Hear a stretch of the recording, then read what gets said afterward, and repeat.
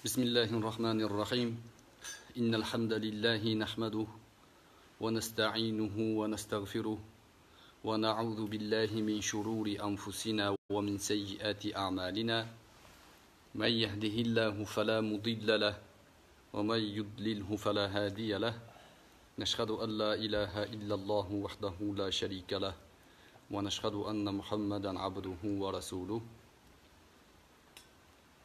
اللهم لا سهل إلا ما جعلته سهلا وأنت تجعل الحزن إذا شئت سهلا بقدرتك يا أرحم الراحمين. أما بعد رب اشرح لي صدري ويسر لي أمري واحلل عقدة من لساني يفقه قولي. السلام عليكم ورحمة الله وبركاته. bugun navbatdagi suhbatimiz bir hadis sharhi Э, ma'nosida qisqaroq suhbat qilish rejamiz bor. Э, suhbatning asl mavzusi allohning fazli haqida. Alloh subhanahu va taoloning fazilati ummat tepasidagi rahmati. Sizu biz loyiq bo'lmasakda sizu bizlarga o'zining fazli bilan bergan ne'matining shukrini his qilish ma'nosida ba'zi hadislarni oyati karimalarni o'rganamiz. imom buxoriy rahimahulloh imom muslim rahimahumallohlar o'zlarining sahih to'plamlarida keltirgan hadisi sharif bor sahih hadis rasululloh sollallohu alayhi vasallamdan abu muso roziyallohu anhu rivoyat qilganlar rasululloh sollallohu alayhi vasallam marhamat qiladilar مثل المسلمين واليهود والنصارى كمثل رجل استأجر قوما يعملون له عملا يوما إلى الليل على أجر معلوم. فعملوا له إلى نصف النهار فقالوا لا حاجة لنا إلى أجرك الذي شرطت لنا وما عملنا باطل. فقال لهم لا تفعلوا اكملوا بقية عملكم وخذوا أجركم كاملا. فأبوا وتركوا واستأجر أجيرين بعدهم. فقال لهما اكملا بقية يومكم يومكما هذا ولكما الذي شرطت لهم من الأجر. فعملوا حتى إذا كان حين صلاة العصر قال لك ما عملنا باطل ولك الأجر الذي جعلت لنا فيه. فقال لهما اكملا بقية عملكما. ما بقي من النهار شيء يسير؟ فأبيا واستأجر قوما أن يعملوا له بقية يومهم. فعملوا بقية يومهم حتى غابت الشمس. واستكملوا أجر الفريقين كليهما فذلك مثلهم ومثل ما قبلوا من هذا النور صدق رسول الله صلى الله عليه وسلم abu muso ashariy roziyallohu anhu rasululloh sollallohu alayhi vasallamdan rivoyat qiladilar u zot aytadilarki musulmonlar va yahudiylar va hamda nasroniylarning misoli bir kishining e, ijaraga mardikorga bir jamoani olganining misoliga o'xshaydi. Bir odam bir qavmni jamoani ijaraga oldi uyda ishlatmoqchi. Ular bilan ma'lum bir e, kunni masalan ertalabdan to kechgacha bo'lgan ishni kelishishdi. O'rtada ma'lum bir ajrni ma'lum bir oylikni o'rtaga qo'yishdi. Ular rozi bo'ldi ishlaydiganlar ham rozi bo'ldi va ish boshlandi. Peshin payti bo'lganda u jamoatlarni ichidan bir jamoa chiqdida aytdiki man siz bilan kelishgan edim ya kechgacha shomgacha ishlamoqchi edikku. Man peshingacha ishladim bundan keyin man ishlolmayman dedi. Man qilgan mehnatim botil dedi. Man chiqib ketaman e, nima qilsanglar qilaveringlar ajram kerak emas dedi. Shunda uyni egasi aytdiki ey dedi. Ozgina qoldi ozgina ishlasang shuncha qilgan mehnating botil bo'lmaydi. Oyligingni haqqingni olasan to'xta dedi. Deganda yo'q dedi. Manga kerak emas qilgan ishim sanga dedi. Chiqib ketib yubordi ikkita qavm qoldi ya'ni taxminan deylik uch kishini mehnatga olgan bir kishi peshinda qochdi. Ishni tashlab qochib yubordi bismillah. Keyin e, uyi egasi qolgan ikki kishiga aytdiki shu ishni oxirigacha yetkazinglar sizlar buni ham ajrini sizlarga qo'shib beraman dedi. Haligi ikkita jamoat qoldi va asr vaqti bo'lgan paytida yana bitta jamoat e, ishdan charchadi va aytdiki menga dedi qilgan ishlarimning hammasi botil dedi menga ajr ham kerak emas man endi ketaman dedi. Shunda uy egasi aytdiki asrdan keyin shomgacha ozgina vaqt bor dedi. Shuncha mehnat qilding ertalabdan to shom asrgacha mehnat qilding qilgan ishlaring botil bo'lyapti. Tashlama ketma ishla oyligingni ol dedi. Deganda yo'q dedi. Menga oylik kerak emas qilgan mehnatim botil man ketdim dedi. Shunda uchinchi qolayotgan shaxsga uy egasi aytdiki ozgina ish qoldi shuni qilib qo'ygin dedi. Bu ikkitasining ajrini ham sanga beraman dedi. O'sha asrdan keyin shomgacha u odam amalni qabul qildi va u yuqorida qilingan mehnatlarning hammasini to'la to'kis ajrini fazlini qo'lga kiritdi. Payg'ambarimiz sollallohu alayhi vasallam aytdilarki mana shu yahudiy va nasrono nasroniylarning misoli. Va masalu ma qabila min hada nur va bu nurni islom dinining oqibatiga yetkazishlikni zimmasiga olgan qavmning misoli ya'ni bizning misolimiz. Biz ummati muhammad o'ta katta fazilga o'ta katta rahmatga ega bo'lgan ummatmiz. Payg'ambarimiz sollallohu alayhi vasallam bu zarbul masal bilan bizning sha'nimizni bizga beriladigan mukofotni bizdan oldingi ummat yetisha olmagan mukofotlar sifatida e, zikr qilyaptilar. Va biz qabul qilgan dinni nur deyaptilar. Nur. Ya'ni e, erta tongdan to peshingacha yahud millati ishlab bu dini diyonatning e, karvonini peshvosi bo'lib butun insoniyatning hidoyatiga mayoq bo'lib butun insoniyat ichida eng fazilatli ummat bo'lib kelib peshinga borganda xiyonat qilishdi. Payg'ambarlarni o'ldirishdi ulamolarini quvishdi eng yaqin insonlarni dindan bezdirishdi. Alloh subhanahu va taolo ulardan ularga berish kerak bo'lgan ajrni yulib oldi va undan keyingi ummatga iso alayhissalomning ummatiga yukladi. Iso alayhissalomning ummatlari peshindan asrgacha bo'lgan mehnatni qilishdi. Ular risolat karvonini eng og'ir kunlarda qabul qilishdi va bu og'ir kunlarning mehnatini og'ir kunlarning mashaqqatini zimmalaridan o'tkazishdi. Asrga kelganda bo'lsa xiyonat qilishdi. Bu nurni qo'llaridan tashlashdi. O'zlarining botil aqidalarini o'ylab chiqishdi. Iso alayhissalotu vassalomni xudoning o'g'li deyishdi va alloh subhanahu va taolo bergan fazilatdan yuz o'girishdi. Alloh subhanahu va taolo iso alayhissalotu vassalomdan keyin biz ummatning payg'ambari bo'lgan muhammad sallallohu alayhi vasallamga bu nurni taqdim qildi. Bu nur oz muddatda amal qilib butun boshli ummat butun boshli insoniyat qo'lga kiritishi mumkin bo'lgan ajrlarga ega bo'ldi. Mana shu fazil sizu bizlarning o'ta fazilatli ummat ekanligimizga dalolat qiladi. Alloh subhanahu va taolo bizlarni yaxshi ko'rishligiga dalolat qiladi. Va alloh subhanahu va taolo bizlarga bu ummat o'laroq bizdan oldingi ummatlarning qilgan ishlarini qilmasligimizni ogohlantiradi. Dinni qabul qilib islomni haq din deb bilib islom buyurgan yo'lda yurishlikni zimmamizga olib oxir oqibat kelganda botil yo'llarga kirib ketib buzuq aqidalarni qabul qilib islomga qarshi bo'lgan musulmonlarga qarshi bo'lgan dushmanlarga ko'mak beradigan bu dinning bu nurning fazlini bilmaydigan odamlardan bo'lmasligimizga dalolat qiladi. Ha bu din haqiqiy ma'noda alloh subhanahu va taoloning bizlarga bergan fazilatidir. Biz kimmiz o'zi? Alloh subhanahu va taolo bizlarni qandaydir fazilatimiz evaziga bermadi bu ummatga nurni.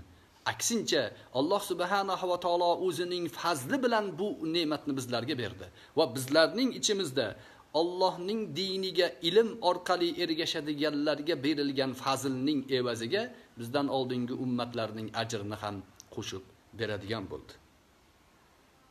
Hasad qilishmasin.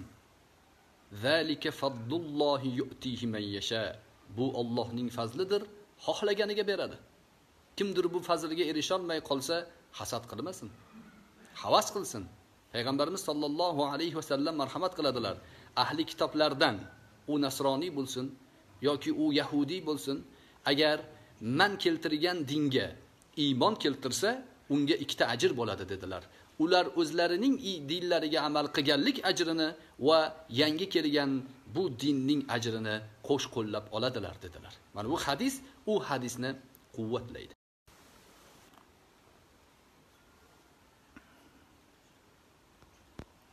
hadisning boshqa turuqlarida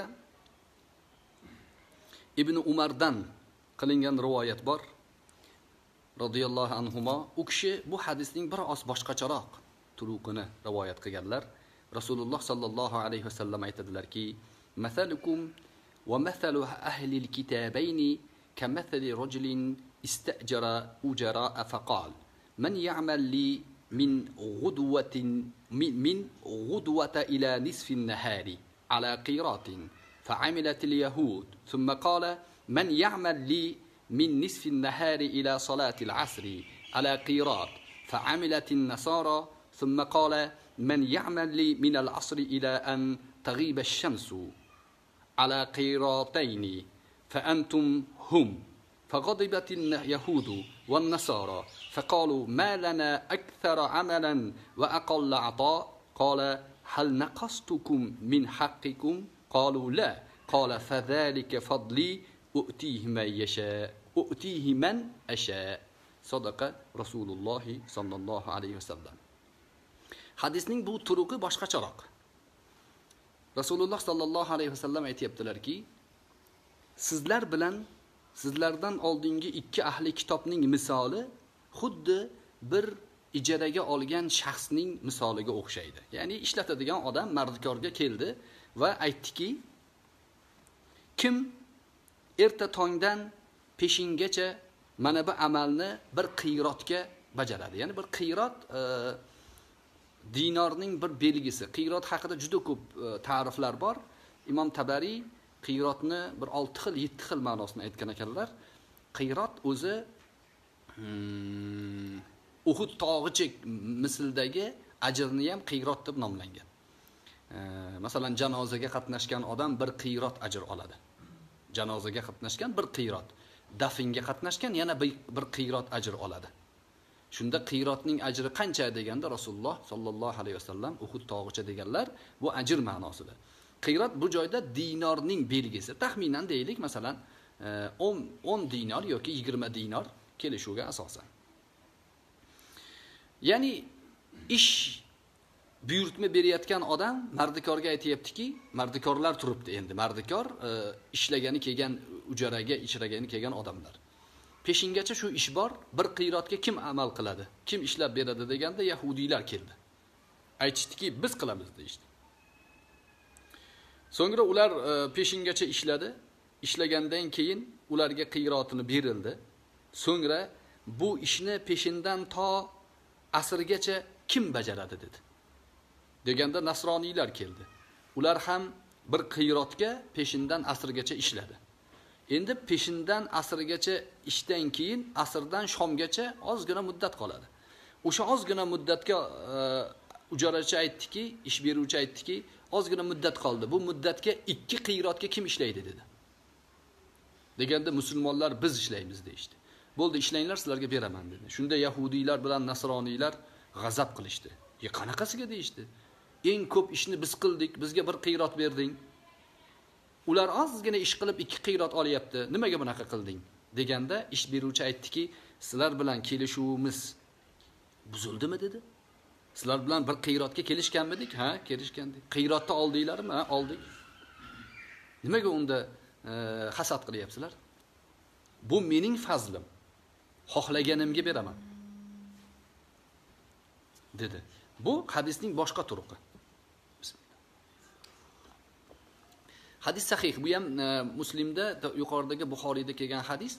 Hadisning o'rtasida mana hadis ilmi ulamolari o'rtadagi ziddiyatni qanday yechishlik E, usullarni o'rgatishgan. Mana yuqorida yahudiy va nasroniylar o'zlarining ajrlarini olmasdan e, amal amalina amaluna batil deb ketishdi. Bizni amalimiz kerak emas botil ajr olmaymiz deb ketishdi yuqoridagi hadisda. Bu hadisda ular qiyrot olyapti. Qanaqa qilib jamlaymiz buni? Bir biriga zid emasmi desa ulamolar aytadiki yuqoridagi ajrni olmasdan ketib yuborganlar muhammad sollallohu alayhi vasallam kelgandan keyingi yahudiylar. Qabul qilmasdan yangi nurni yangi iymonni qabul qilmasdan ajrlarini botil qilgan rasulullohga shohid bo'lgan yahudiy ummatiga aytilyapti yuqoridagi hadisda. Bu hadisda ular qiyrotlarini oldi degani rasululloh sollallohu alayhi vasallamgacha bo'lgan rasulullohga shohid bo'lmagan o'zlarining e,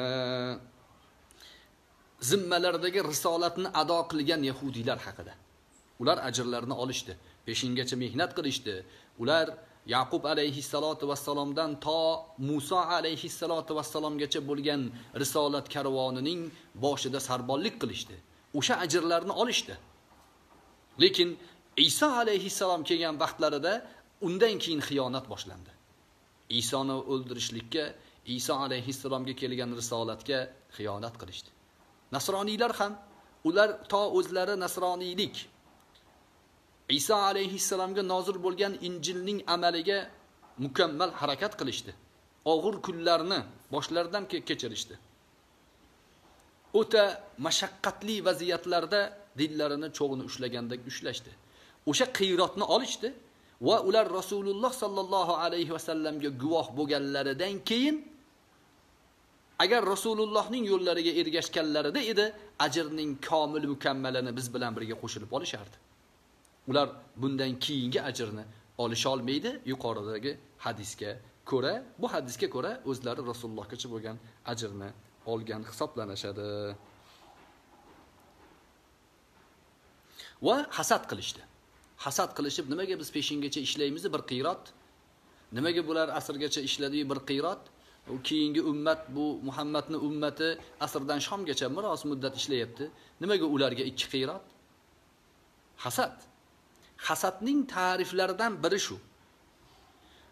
Fazil egasi.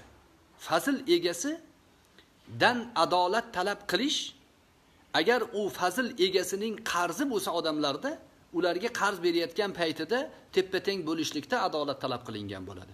Lekin fazil egasini sizdan qarzi yo'qmi u xohlaganiga xohlaganini beradi. Siz bilan peshingacha mehnat qilib bir qiyrotga e, kelishdimi bir sizga bir qiyrotni berdi. Xohlagan odamiga ishlamasdan ham pul beraveradi u. Nimaga fazil egasi u?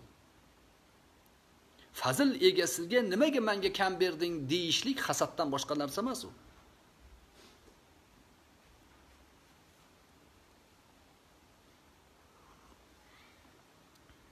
Manda bir qiziq voqea bo'lgan. Bundan yo 3 yil 4 yil oldinroq hali bu facebook tarmoqlari yo'q forumlar bor paytlarida. Forumda nasroniy dinini da'vat qiladigan odamlar bilan e, bahslar bo'lardi. O'sha nasroniylikni yegova shohidlari missionerlik jamoatlari bilan bahs qizg'in bahslarda injilni o'qib chiqqan edim. Injilda injil injilni o'zida xuddi shu voqea bor. U iso alayhissalomning tilidan aytilgan. Iso alayhissalom bu misolni keltirib o'zlarining ummatlariga Allohning fazliga hasad qilmanglar. Alloh xohlaganlarini ishlatib pul beradi xohlaganlarini ishlatmasdan pul beradi. Allohning fazli bu.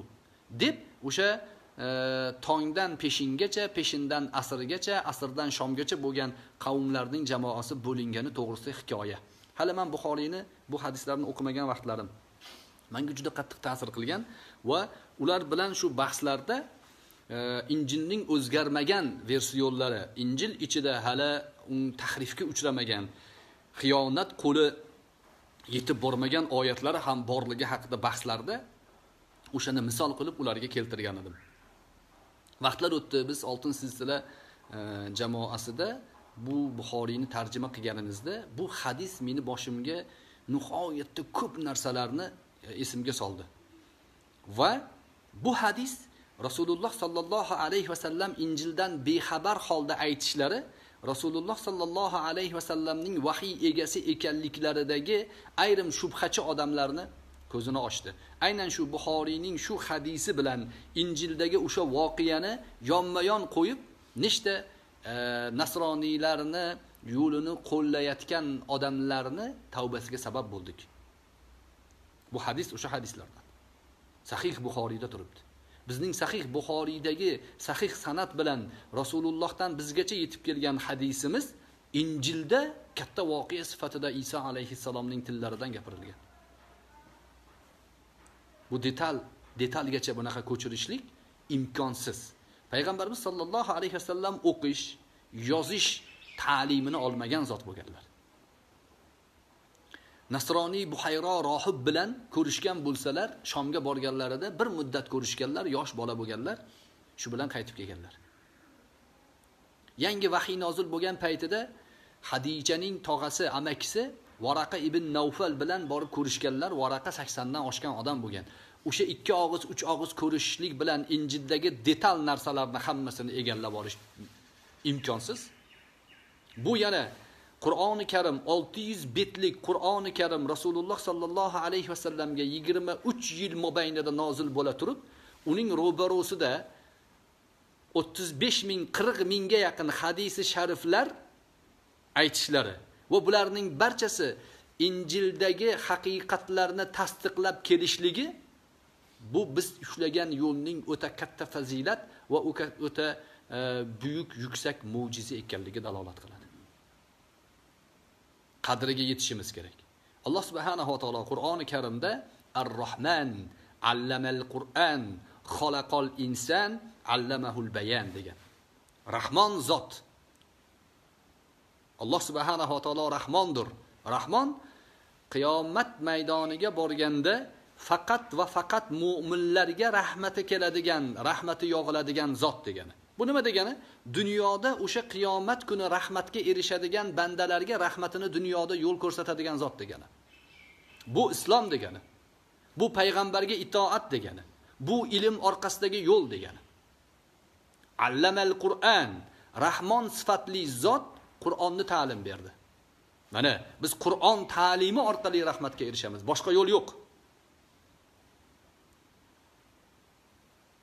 Boshqa yo'l yo'q.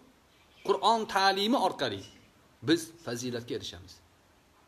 Man o'qimaganmanda ilm bilim o'qimaganmanda bilmaymanda lekin sizga bir narsa aytib qo'yay degan odamlar safsatalarini sho'rva qilib ichishsin.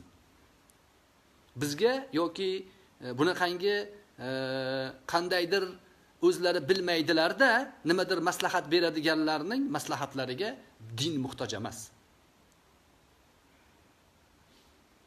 Ar rohman allamal qur'an rahmon sifatli zot qur'onni ta'lim berdi. Rahmatga erishmoqchi bo'lgan zot qur'onga ergashadi. Qur'onning sohibiga ergashadi. Qur'onni bizlarga vosita sifatida yetkazgan zotning hadislariga ergashadi. Utitul qur'an va mislahu ma'ahu. Utitul qur'an va mislahu menga qur'on berildi va qur'ondek ilm berildi deganlar. Payg'ambarimiz sollallohu alayhi vasallam.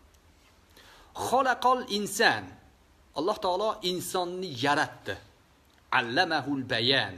Biz inson biz inson bo'lib yaratilishimiz o'zi fazilat. Allohning rahmati. Va allamahul bayan. Inson sifatidagi fazilatga shukur keltirish bilan birga bayonning ta'limiga ham shukur keltirishimiz kerak. Ya'ni ilmga. Biz ilmga ergashib ilm orqasidan fazilat topamiz deyishligimiz inson bo'lib yaratilganligimizning fazilati bilan teng ya'ni yonma yon zikr qilyapti alloh taolo. Inson najot topishligi uchun allamahul bayan bayon ta'limiga ergashish kerak. Bayon o'zi odatda gap bir narsani bayon qilib berish ichki dunyoyingizni ehtiyojlaringizni hojatlaringizni til bilan bayon qilish. Bu ne'mat haqiqatda. Bu ne'matga biz doimiy e, e, ravishda doimiy suratda ega bo'lganligimiz uchun ne'mat ekanligini doim esdan chiqaramiz.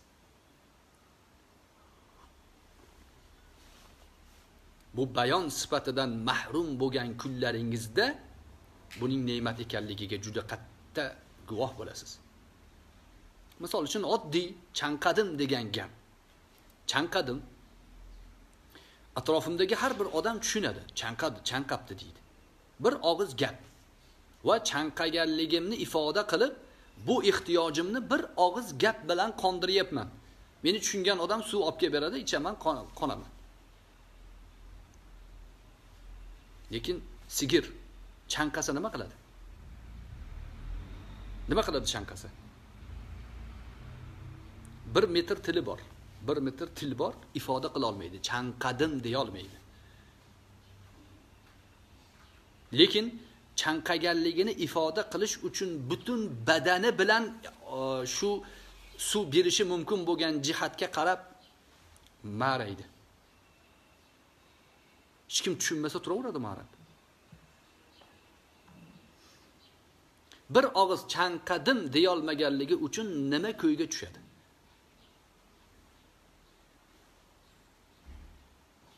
Men toqqa borib keldim. Men toqqa borib keldim. To'rtta jumla. Buni bayon qilyapman. Mening toqqa borib kelganligimni atrofimdagi turgan odam tushunyapti bilyapti. Lekin bu bayon bo'lmasa qanday tushuntiraman buni man? Qanday tushuntiraman? Odamlarni toqqa olib borishim kerak. Tog'ni ko'rsatib shu joyga kelganligimni ishora qilib yana qaytib kelganligimni aytishim kerak. Buning uchun qancha mehnat qancha mashaqqat qancha mablag' qancha vaqt sarflashim kerak? Uch og'iz to'rt og'iz kalima bilan ifoda qilib tushuntira olgan jumlalarimga qancha muddat qancha vaqt kerak? Allamahul bayan qur'oni karim bayonni ta'lim berdi insonga deganda fazilatni ko'rsatyapti. O'zining rahmon sifatiga ega bo'lgan zot insonga bu rahmon sifati bilan nimalarni berganligini ta'lim beryapti. Biz o'sha fazilatga ergashishlik bilan najotning haqiqatiga ergashgan bo'lamiz.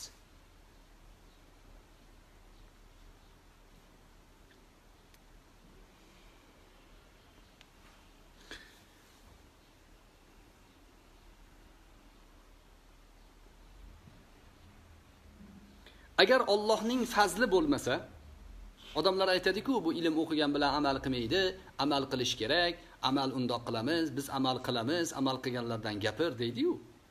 O'sha amal bilan jannatga kirib bo'lmasligi ilm orqali bilinadi. Insonlar amallariga suyanish bilan dunyoda ham oxiratda ham halok bo'lishadi. Odamlar amalga suyanganligi sababli alloh taolo o'sha amallarini ularning yuziga uradi.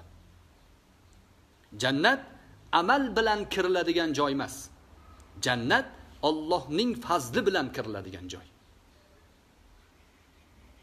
Agar amal Allohning fazli bo'lmasa faqat amal bilan man yutaman desa dunyoda najot topadigan zot yo'q bunga rasululloh sollallohu alayhi vasallam ham dohillar o'zlari aytganlar men ham amalim bilan jannatga kirolmayman deganlar.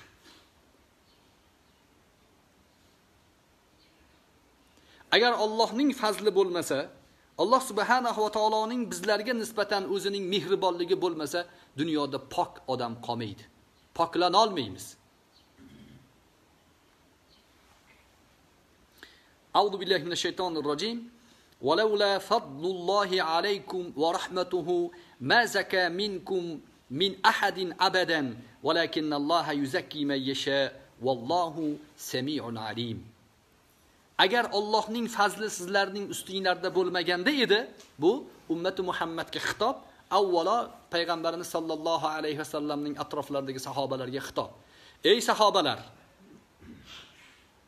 Sizlar erishgan fazilatlar sizlar erishgan yutuqlarni o'zinglardan deb bilmanglar.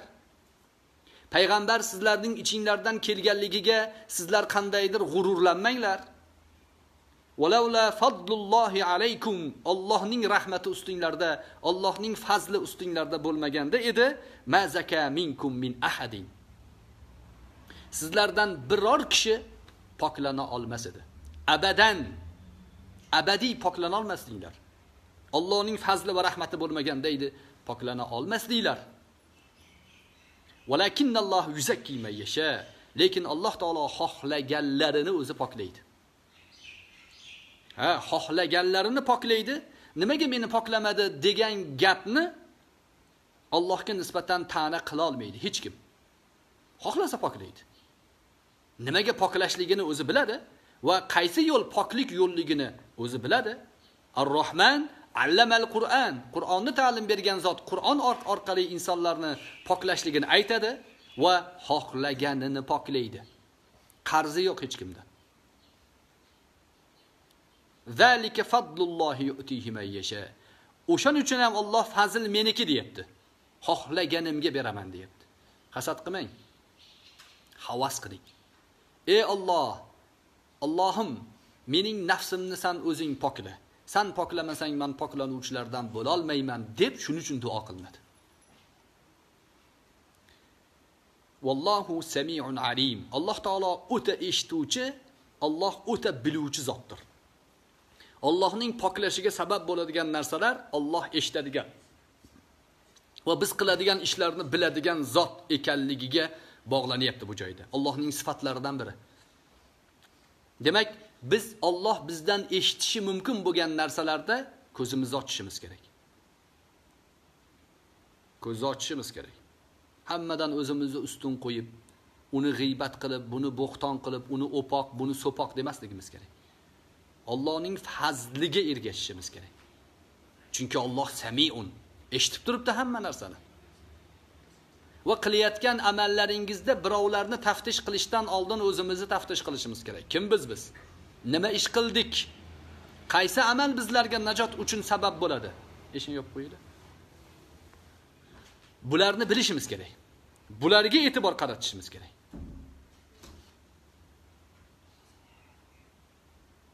Chunki alim zotning huzuridamiz. Bilib turibdi hammasini.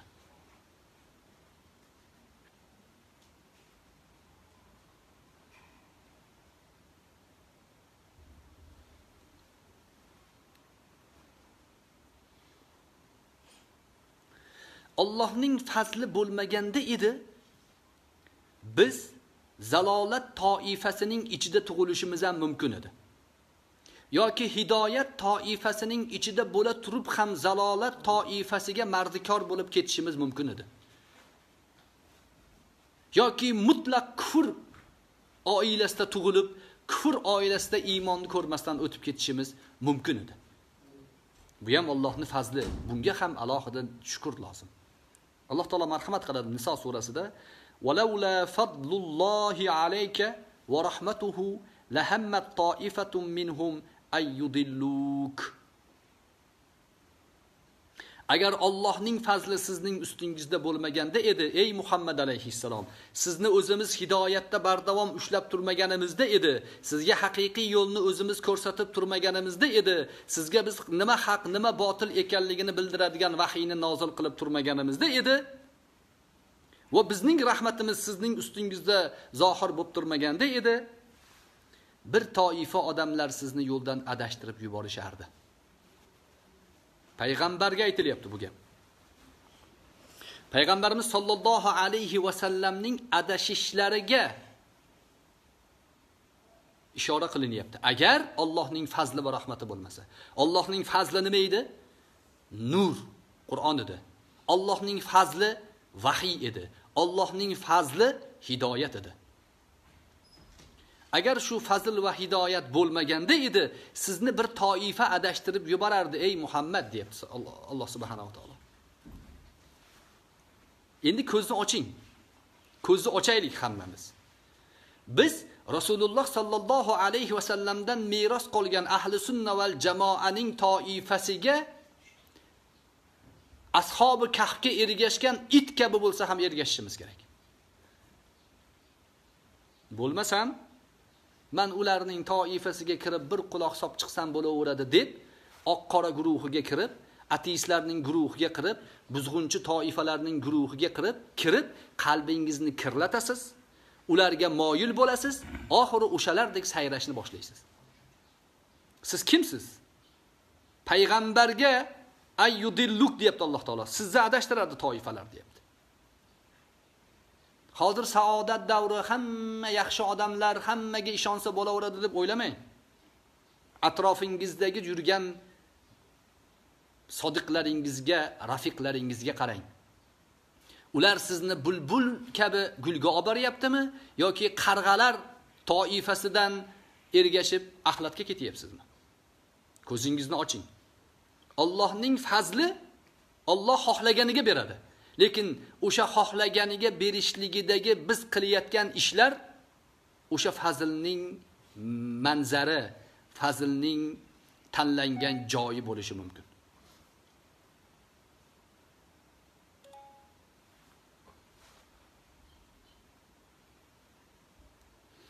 Allohning fazli insonlarni tavbasiga ham e, sabab bo'ladi. Ya'ni tavbalar ham Allohning fazliga sabab bo'ladi. Ya'ni Alloh taolo Nur surasida aytadi: valaula fadlullohi alaykum va rahmatuhu va annalloha tawwabur rahim." Agar Allohning fazli va rahmati sizlarning ustinglarda bo'lmaganda edi, tavbanglarni qabul qilmas edi. Bu zamirida shu oyatning tagida. Nimaga? Va annalloha tawwabur rohim Alloh taolo o'ta tavbalarni qabul qiluvchi, o'ta mehribon zot. Demak, tavba qilish bilan ko'zimizni ochish bilan atrofimizdagi ham jalislarimizni, suhbatdoshlarimizni haq yoki botil yo'lda ekanligini ajratish bilan tavbaning eshigini qoqishimiz kerak. Va albatta qoqilgan eshik ochiladi. Va ochilgandan keyin Allohning fazliga erishamiz. Amal bilan erisha olmaysiz. Shaytonning bitta sifatlaridan biri shayton yer yuzida amal borasida qilmagan ishi qolmagan. Yer yuzida sajda qilmagan o'rni qolmagan shaytonning. Shayton ham olim bo'lgana deb olimlar haqida malomat qiladigan Э, kampirlar bor-u, o'shalarga aytib qo'yay, shayton amal qilaman ham degan. Amalligan bo'lgan, amal ham bo'lgan shaytonda. Lekin haq kelgan paytida inkor qilgan va kibrga ketgan. Ilmga ergashmagan. Va allama adamal asma'a kullaha oyatining davomida o'sha odamga sajda qilishlikdan yuz o'girgan. Bilib turib yuz o'girgan. Ilm borasida ilmga ergashmaganligi uchun shayton bo'lgan. Lekin shaytonning amallari uning maqomini farishtalar maqomiga olib chiqqan taqdirda ham oqibatida u amallarning hammasi habata bo'ldi. Amaliga ajr olgani yo'q shayton. Amal jannatga kiritmaydi.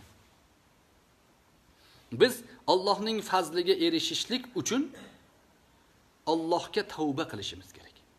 Qaytishimiz kerak.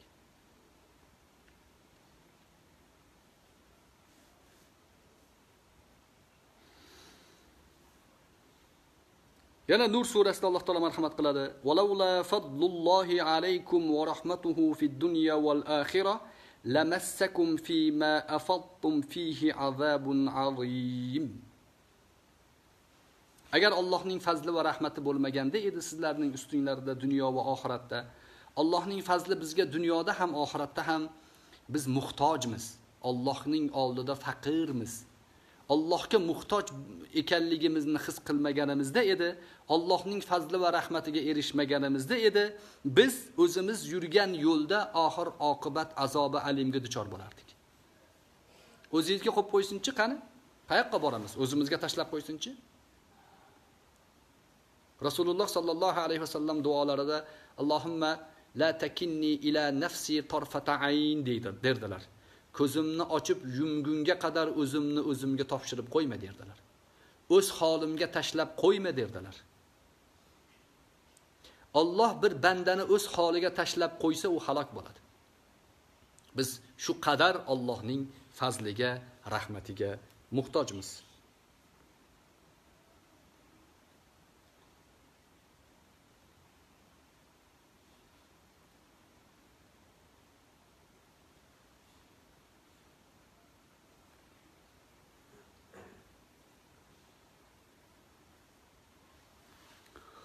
Demak, e, biz inshaalloh fazilatli ummatmiz. Fazilatli ummatning doirasidagi zotlarmiz. Ozgina amal bilan juda katta ne'matlarga erishadigan ummatmiz. Biz Alloh subhanahu va taoloning insoniyatni yaratishdan ko'zlagan maqsadining xotimasimiz. Ishning oxiriga yetkazadigan zotlarmiz. Xitamuhu miskmiz. Misk ummatmiz. Xushbo'y ummatmiz. Mana shu xushbo'y ummat o'laroq fazilatga ergashishlik bilan najotning eng kattasiga erishamiz. Alloh subhanahu va taolo bizdan oldingi ummatlarga bermagan va bizga bergan juda katta fazilatlarga mazhar ummatmiz. buni qadriga yetishimiz kerak va avvalgi ummatlar peshingacha ishlab ishini botil qilgan peshindan asrgacha ishlab ishini botir qilgan ummatlar kabi bo'lmasligimiz kerak. Biz bu ummat o'laroq eng katta fazilatga erishishlikni ne'mat o'laroq bilib endi bu ne'matga nonko'rlik qilmasligimiz kerak. Ummat ichida yo'ldan adashgan toifalar yo yahudiydan ta'sirlangan toifa bo'ladi yoki nasroniydan ta'sirlangan toifa bo'ladi. Alloh subhanahu va taolo qur'oni karimda bizdan oldingi o'tgan ummatlar ichida eng ko'p zikr qilgani bani isroil. Nima uchun bani isroilni ko'p zikr qilgan desa adashishlik uslubida bani isroilning uslubi bizga ko'p to'g'ri keladi. Adashishlikda bizdan oldingi ummat iso alayhissalotu vassalomga ergashgan ummatlar ham biz qilishimiz adashishimiz mumkin bo'lgan yo'llarni misolida turishadi. Payg'ambarimiz sollallohu alayhi vasallam qasam ichib aytdilar. Sizlardan dedilar oldingi ummat qilgan ishni qarichma qarich qiladiganlar chiqadi dedilar. Ziroan bi ziroin shibran bi shibrin dedilar. Qarichma qarich qadamma qadam ergashasizlar hatto dedilar sizlardan oldingi ummat o'zining onasiga sakragan bo'lsa sizlardan ham shunaqalar chiqadi dedilar. Najot qayerda? Najot qayerda? Payg'ambarimiz sollallohu alayhi vasallamdan shu haqida ko'p so'ralganlarida alaykum bisavadil azam. Alaykum bisunnati. deb bunga o'xshagan ko'p tavsiyalarni berdilar. Katta qoralikka ergashinglar jamoatga ergashinglar sunnatimga ergashinglar. Chunki fazilat shunda. Chunki rahmat shunda. Boshqa yo'l yo'q. Boshqa najot yo'q. Chunki atrofingizga qarasangiz har har tarafda shaytonning da'vatchilari bor. Shaytonning da'vatchilari bor har yonda atrofda. Labbay desangiz sizni qopiga solib olib ketib qoladi. O'sha labbay deyishlikka vaqt ajratmaslik uchun ahli sunnaga ergashish kerak. Boshqa najot yo'q. Alloh subhanahu va taolo barchalarimizni o'zini hidoyatida bardavom qilsin. Haq subhanahu va taolo bu o'rgangan hadisimizdagi fazilatli ummat bo'lganimizni muborak qilsin va buning qadriga yetib bu ummatning vazifalariga munosib ummat bo'lib borishligimizda haq subhanahu va taolo o'zi yordamchi ko'makchi bo'lsin. Shomga bir 15-20 minut bor bizda. Savol javoblarimizni o'qiymiz inshaalloh. Savollar bo'lsa bu telefon qizib ketyapti-ku. Yechib qo'yamiz shekilli. Xo'p, bismillahirrohmanirrohim. rohmanir rohim. Savol javoblarga o'tamiz. Salom bergan birodarlarimiz va alaykum assalom va rahmatullohi va barakatuh.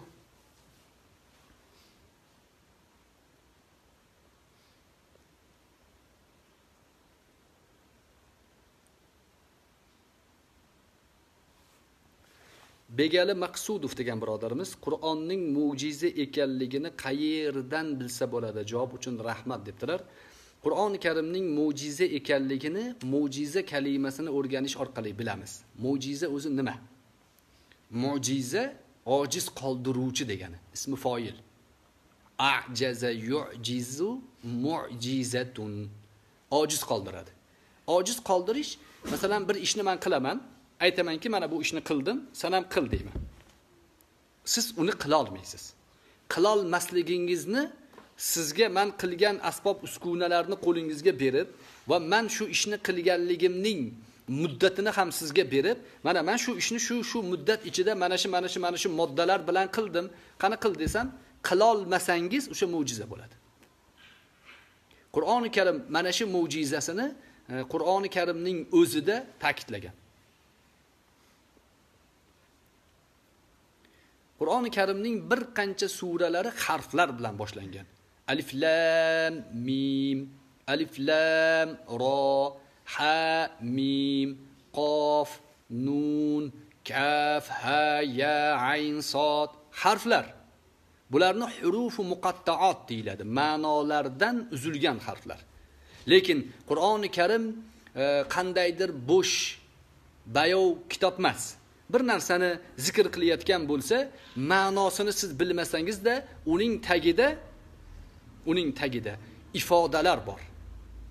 Ifoda e, ilmida mana hozir bizda aytil logo deyiladi.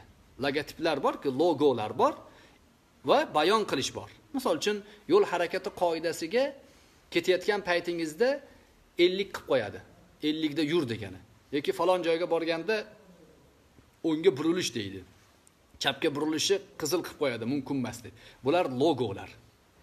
Qaraganingizda tushunib ketaverasiz. Uni ifoda bilan harf bilan yozilsa u tez ketayotgan odam ko'rmay qoladi uni tushunolmay qoladi. Xuddi shun singari alif lam mim harflari logo qur'oni karimda ishoralar. Ey ummat! Ey arablar! Sizlar she'r afsona to'qishlikda o'zinglarni eng yetuk ummat sifatida taqdim qilasizlar. Mana muhammad alayhissalom sizlarning ko'z o'ngingizda umuman kitobni o'qishni yozishni bilmasdan katta bo'ldi. Qirq yoshga qadar bir og'iz she'r aytgani yo'q lekin shu zotga biz qur'on nozil qilyapmiz. Alif lam mim harflari bilan nozil qilyapmiz. Sizlar ham shu harflar bilan e, o'zinglar she'rlar to'qiysizlar va she'rda bizga bizning oldimizga tushadigani yo'q deysizlar. Mana harflar. Marhamat to'qinglar degani. bu harflar bilan logo ishoralar ya'ni ramziy ishoralar bor. Va ochiq oydin bayonotlar ham bor. Qul in kuntum fi raybin mimma nazzalna ala abdina fa'tu bi suratin min mithlihi wad'u shuhada'akum min dunillahi in kuntum sodiqin fa in lam taf'alu wa lan taf'alu fattaqun nar allati waquduha an-nas wal hijara u'iddat lil kafirin. Ayting ey muhammad alayhissalom agar bandamizga nozil qilayotgan bu qur'onda shubhada bo'lsanglar yo bu qur'onni o'zi to'qib olyapti desanglar o'zi to'qib olayotganligi to'g'risida da'voni qilayotgan bo'lsanglar fatu bi suratin min misli alif lam ro harflari bilan sizlar ham yozasizlaru sizlar ham keltiringlar bitta sura vadu shuhadaakum min dunillah. Allohdan boshqa barcha o'zinglarni shuhadolaringlarni, bu ishning guvohlarini keltiringlar. Yozinglar bitta sura. deb davomida nima deyapti? Va illam taf'alu agar qila olmasanglar deb jumlai mo'tariza valan taf'alu qila olmaysizlar ham deb keskin gap gapiryapti muhammad alayhissalom gapira olmaydi buni banda gapira olmaydi bunaqa gapni qila olmaysan mana masalan shu telefonni chiqardim man san chiqara olmaysan dengchi samsung chiqarib qo'ydi iphonega qarshi chiqarib qo'ydi ya'ni muxolifi bor. U yaxshimi bu yaxshimi u qanaqa bu qanaqa u hali ham tortishilyapti. Qur'oni karimda u yaxshimi bu yaxshimi degan narsa yo'q. Qur'oni karim yagona yer yuzida. Maydonda g'olib hali hamon.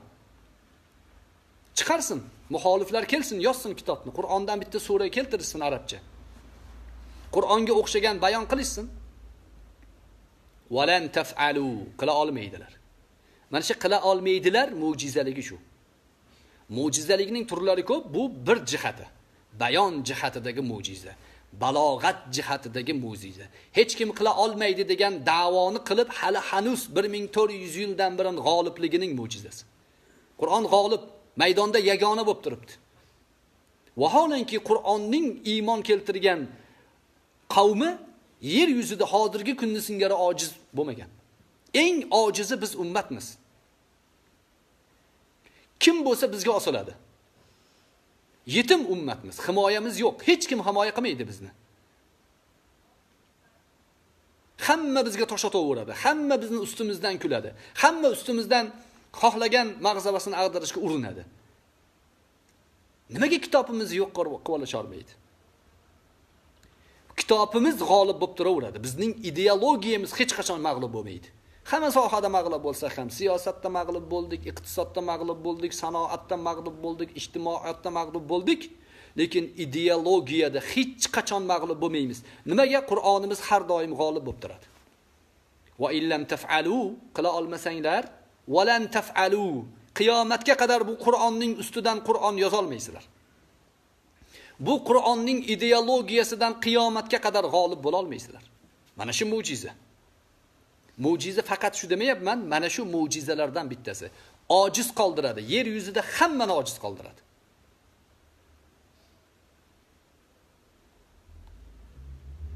Qur'oni karimda hamma sohaning egalari o'zlarining ilmiy haqiqatlarining natijasida qur'on xato ekan deya olishmaydi bu ham mo'jiza. Qur'oni karim g'aybdan xabar berar ekan o'sha g'aybdan bergan xabarlari haqiqat bo'lib chiqadi.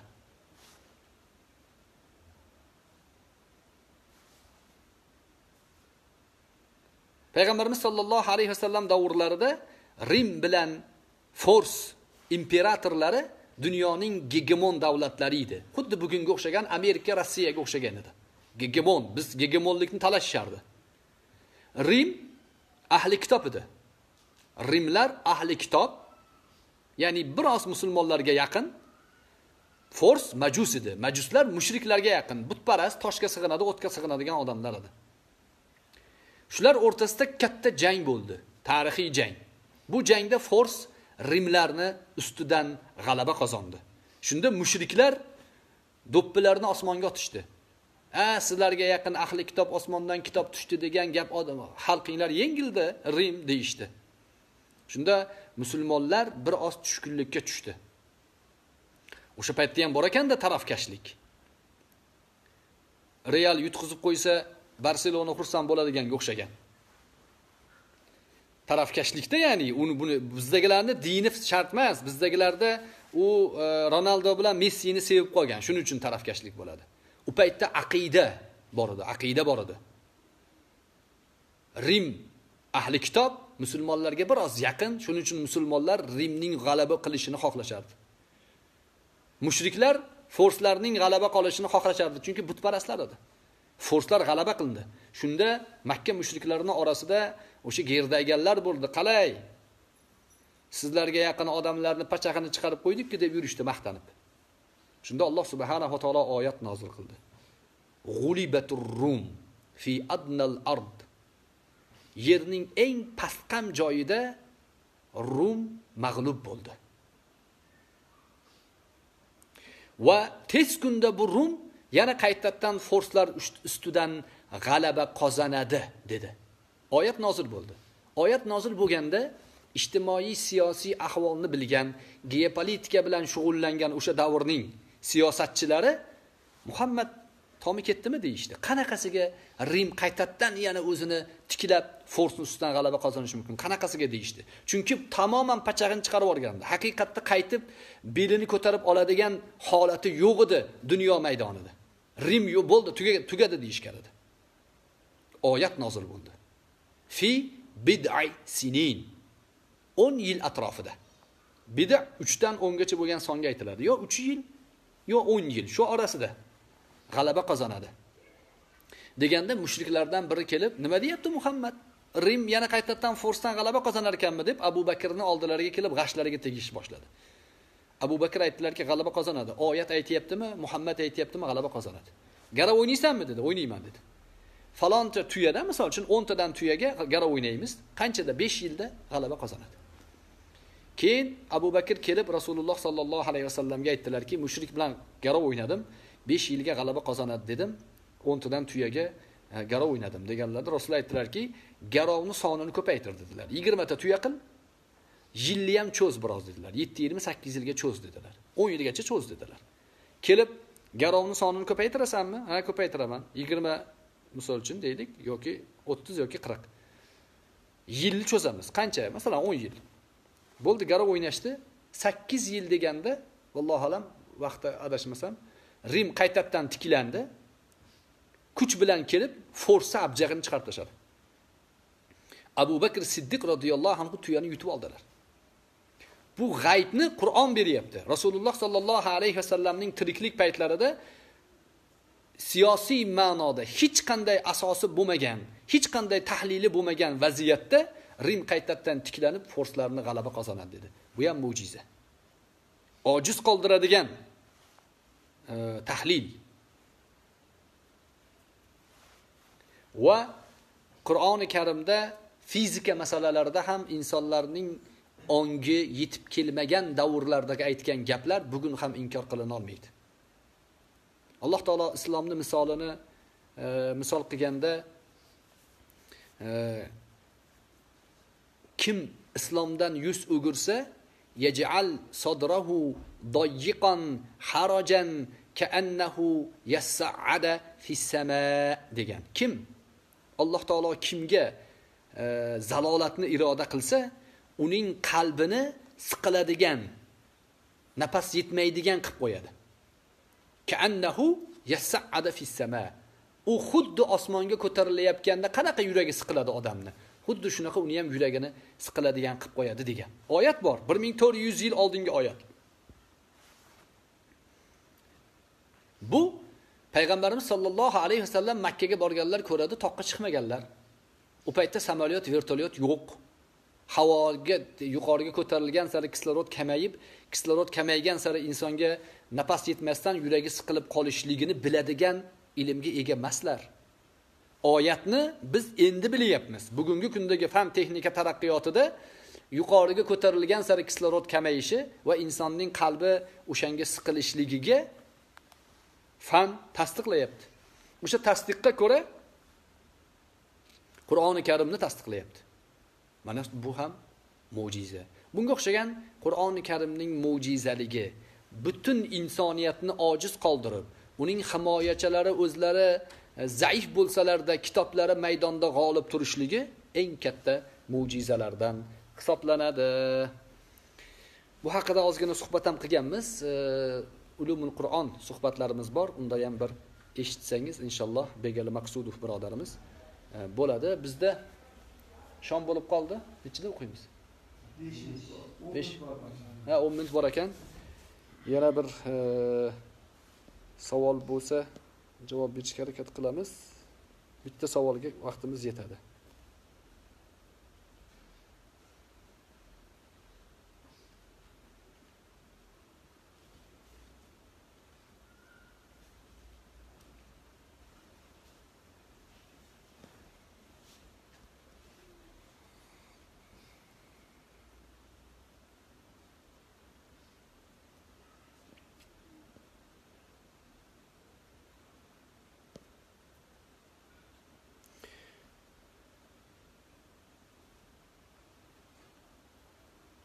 Abdumalik nabiyev shom bo'ldi nima qilib o'tiribsizlar debdilar shomni borib o'qiyvering siz namoz ko'rmagansiz siz.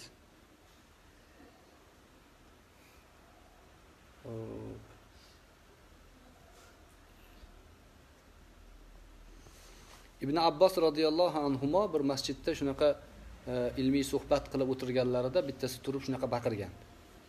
Assola degan. Deganda u kishi aytganlarki namozni biz ham o'qiymiz deganlar biz ham musulmonmiz. Biz ham o'qiymiz. Ja o'zingni namozxon ko'rsatma ilm bo'lyapti deganlar. Endi bu nabiyev birodarimizga ta'na ma'nosi emas ilm ma'nosi bo'lsin. Beodoblik ilm majlisida namoz deb baqirishlik beodoblik hisoblanadi. Biz benamoz emasmiz. Namoz o'qiymiz biz ham. Vaqtiga qarab qarab turibmiz oldimizda soat bor oldimizda muazzim bor.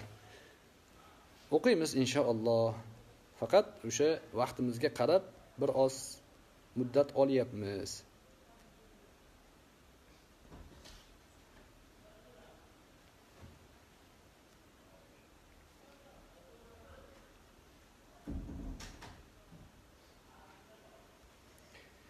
Biroz chuqurroq eh, savol beribdilar ali isro ali ali irsaliy degan birodarimiz e, aqidada mutavotir hadislarning olinishi 3 asrdan keyin paydo bo'lgan. Ungacha barcha salaf ulamolarimiz aqidaga ohod hadislarni ham olishgan. Shu qanchalik rost va faqat mo'tazila va ashariylar ohod hadislarni olishmaydi degan davoni qilishyapti. E, Alloh rizoligi uchun shuni tushuntirib bersangiz debdilar. E, vaqtimiz yetmasa kerak bu mavzu biroz chuqurroq balki bunga suhbat qilarmiz. Mutavotir qisqa qisqa muxtasar aytganda aqida yaqin bilan sobit bo'lishi kerak. Yaqiniy ilm bilan sobit bo'lishi kerak. Yaqin nimada ifoda bo'ladi desa mutavotirda ifoda bo'ladi. Ohod zonni ifoda qiladi. Mutavotir ifoda qilmaydi. Bu mutlaq haqiqatlardan. Faqat mutavotir bilan sobit bo'lgan aqidalarni inkor qilgan odam aqida sobit bo'laveradi. Masalan deylik sobit bo'lishligidagi mutavotirni ham san'at borasida mutavotir dalolati qat'iy. San'at borasida ohod dalolati qat'iy. San'at borasida e, ohod e, dalolati ohod san'at borasida mutavotir dalolati zonniy to'rga bo'linadi bu. Bularning hammasida hukm har xil bo'ladi. Yaqinni ifoda qiladi zonni ifoda qiladi vojibni ifoda qiladi makruhni ifoda qiladi degan ilmiy asoslari bor. Bunda e, to'g'rirog'i sizga man ihola qilaman. E, hazratning e, kitoblari bor. E, Tahoviyni sharhi bor talhis anvar shoh kashmiriyni talhislari o'shani o'qishlikni tavsiya qilaman. Va sunniy aqidalarda ham bunga o'xshagan narsalar bor. Va bunga albatta bir suhbat qilishimiz kerak. Ilmiy asosda suhbat qilish rejamiz bor. Ya'ni aqidadan bir reja bor inshaalloh bir dars uyushtiramiz. Oxirgi savol. Shavkat g'aziyev degan birodarimiz ustoz farzandni xatna qilganda jonliq so'yish kerakmi? Baxtiyor oila kitobida solimdan hadis keltirilgan. Ibn umar qo'chqor so'ygani haqida. Shu so'yish ziyofat uchunmi yoki xatnaga bir aloqasi hikmati bormi? Yoki shunchaki joizligi aytilganmi? Shu haqida tushuntirib bersangiz alloh ilmingizni ziyoda qilsin debdilar. Xatna qilish e, arafasida o'sha aqiqa deyiladi. Aqiqa marosimi payg'ambarimiz sollallohu alayhi vasallamdan sobit jumhur ulamolar buni sunnat deydi. Jumhur deganda abu hanifaning e, rahimahullohning mazhabidan boshqa mazhablar. Uchta mazhab ular sunnat deydi. E, lekin bizni hanafiylarda abu hanifa o'zlari bu aqiqa marosimi mansux deganlar. Mansuxligiga e, qurbonlik amaliyoti joriy bo'lganda fasolli li robbika vanhar oyatidagi nahr qurbonlik qiling E, oyati nozil bo'lganda qurbonlik amaliyotidan oldingi jonliq so'yishning hammasi nasx bo'ldi deganlar. Bunga bir qancha usullarni dalillarini keltirganlar va abu hanifaning bu gaplariga mutaqaddim hanafiylar e, ergashishgan mutaaxir ulamolar hanafiylarning o'zida ham boshqa dalillarni quvvatlashib aqiqa marosimi mustahab amal deyishgan. Bizda hozir mustahab amal deyiladi o'sha e, solimdan bo'lgan ibn umarning rivoyatlarida jonliq so'yganlari haqida payg'ambarimiz sollallohu alayhi vasallamning o'zlari e, imom hasan imom husaynga jonliq so'yganlari haqida o'g'il bola bo'lsa ikkita qiz bola bo'lsa bitta so'yishlik haqidagi e, hadislar amalda bitta so'yganlari hmm. Al valadu marhunun bi aqiqatihi degan hadislari bor. Sahih hadis. Valad ya'ni bola unga so'yiladigan aqiqaga marhundir garovdir. O'sha bola tug'ilganda sog'lom tug'ildi to'rtmichasi sog' bo'ldi bundan keyin sog'lom bo'lsin to'rtmichasi sog' bo'lsin deb uni o'rniga bir jonliq so'yish. U so'yishlikdan maqsad o'zi aqqa degani kesdi degani. Kesish. Aqqa deganda kesishni tushiradi kesishdan murod sochi olinadi. O'g'il bola bo'lsa xatna qilinadi e, va qo'y so'yiladi. O'sha so'yilgan qo'y e, bir qancha hikmatlari bor. Avvalo ona juda katta e, kuch yo'qotadi bola tuqqanda. O'zidan bir jon ajrab chiqadi. Onada e, narsalar yetishmovchiligi qon kamligi quvvat kamligiga o'xshagan narsalar bo'ladi. Qo'y so'yilsa endi u onaga yaxshi parvarish go'sht yeydi. Shunga qarab shu ishlarda mm, onaga nisbatan yaxshi e'tibor bo'ladi. Onaga e'tibor bolaga e'tibor bo'ladi. Bola yaxshi E, rivojlanadi va bu bilan ko'p kambag'al miskin odamlar yana og'izlariga go'sht tegadi. Shunga o'xshagan hikmatlari ko'p. So'yishdan murod avvalo al valadu marhunun bi aqiqatihi hadisiga ko'ra bolaga garov sifatida so'yiladi. Birinchi hikmat. Ikkinchi hikmati ona e, yaxshi quvvatli ovqat yeb o'ziga kelib oladi. Bola ham yaxshi shu bilan sutlik bo'ladi. Va atrofdagi qarindosh urug' yor do'st birodarlar miskinlarga go'sht tarqatiladi. E, so'yilgan go'shtni qurbonlikda so'yilgan go'shtga o'xshab taqsim qilsa mustahab deyishadi ulamolar. Uchga bo'ladi bir qismini uyga olib qo'yadi. Bir qismiga mehmon chaqirib bolani e, aqiqasi uchun odamlarga e'lon qilib duo oladi ko'pchilikdan bir qismini xom bo'yicha tarqatadi. E, buni mm, alloh nasib qilsa duo qilib turinglar aqiqaning haqiqati degan ma'noda bir kitobcha yozgan edim man. Tahriri bo'lyapti inshaalloh. Aqiqaga tegishli e, juda ko'p narsalar ifoda qilingan. Inshaalloh bular umrimiz yetib tursa chiqib qoladi. Bo'lmasa o'tib ketadigan bo'lsak merosxo'rlarga vasiyat qilganmiz. Chiqib qolsa kerak. Shom bo'lib qoldi. E, agar imkoniyatimiz bo'lsa alloh nasib qilsa shomdan keyin savol javobga balki kirarmiz. Bo'lmasa bugungi diydorimiz shu joyda e, hijronga uchraydi. Alloh nasib qilsa keyingi suhbatlarda yana gaplashamiz. Duo so'ragan birodarlarimiz bor ekan. Alloh subhanahu va taolo barcha duo so'raganlarning duolarini o'zlari o'ylagandan afzalini ato qilsin. Farzand zurriyotlarining fazilatini so'raganlar bor. Alloh taolo farzandlarini o'zlari o'ylagandan ko'ra yaxshi xizmat qiladigan dinga diyonatga xodim bo'ladigan ummat uchun foydali ishlar qiladigan hmm, farzandlar bo'lishini xudo taolo nasib qilsin. Ota onalari o'tganlarini alloh taolo o'zi rahmatiga olgan bo'lsin. Ahli ayollariga tavfiq e, iymon hayoni alloh taolo o'zi ziyoda qilsin. Yurtimizda bo'layotgan islohotlarni haq subhanahu va taolo ummatning foydasiga o'zi rivojlantirsin.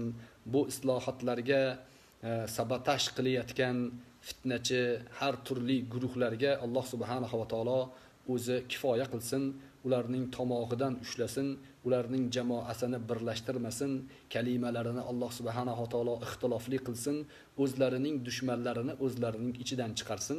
Parvardigor jalla va alo ulamolarimizni o'tganlarini alloh taolo o'zi rahmat qilgan bo'lsin. Bugungi kunda dinga shariatga xizmat qilayotgan islom ummatining ulamolarini alloh subhanahu taolo o'zining nusrati bilan زينة لسن. سبحانك اللهم وبحمدك. نشهد أن لا إله إلا أنت ونستغفرك ونتوب إليك. وآخر دعوانا أن الحمد لله رب العالمين. السلام عليكم ورحمة الله وبركاته.